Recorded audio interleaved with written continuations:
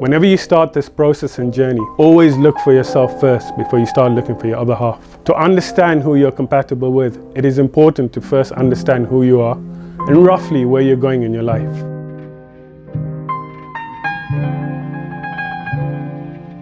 Understanding and finding yourself means understanding what is important and core to you. These are the values by which you lead your life.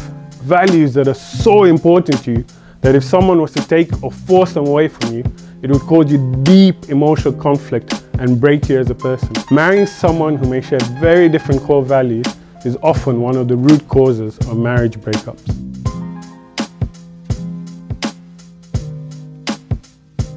Always review your social media presence and profile and all your posts and photos that are out in the public domain. When we're searching and researching about our potential spouses, the lens which we use to look through the recommendations is a very unforgiving, critical lens.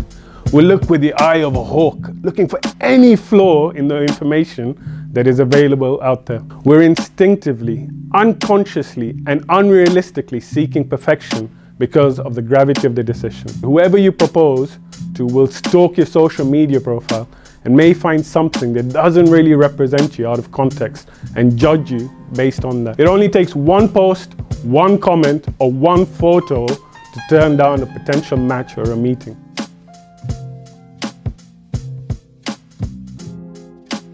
How you perceive marriage and the purpose of marriage will be a very strong determinant in who you want to share your life with. If you perceive marriage to be a deep process of nurturing, developing, and growing each other's soul and character, then you will pick a companion accordingly. Someone that you can connect with deeply, emotionally, and spiritually. However, if you perceive marriage to be primarily the process of meeting and developing your intense physical and outward needs, then you'll pick a partner accordingly. Someone that you connect with the eye and the body only. A wise person once told me, the great sex does not make a great marriage, but a great marriage makes great sex.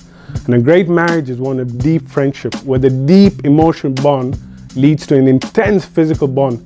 It is the difference between sex and making love.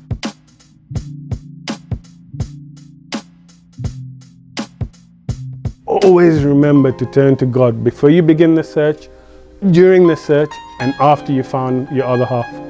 Ask God sincerely that He not only blesses you from His grace and His bounties, but also gives you the peace of heart when you find the right person. Good luck and all the best.